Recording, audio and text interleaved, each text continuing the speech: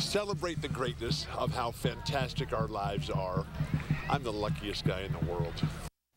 NBA Hall of Famer Bill Walton was among those raising funds and spirits today at the Fan for Life event at the Embarcadero. It's put on by the John Brockington Foundation, and it raises money for people waiting for organ transplants. The event also doubled as a drive to sign up organ donors. Right now, about 2,100 San Diegans are on the transplant list. Now, your microclimate forecast, presented by Mossy Nissan. Here's meteorologist Shawn Styles. Shawn, you were at that event. Beautiful day today for people. Spectacular. It was unreal. I mean, it, you know, textbook classic Southern California evening yes. and perfect uh, event venue there at the uh, Embarcadero Park North. And of course, Bill was in great spirits.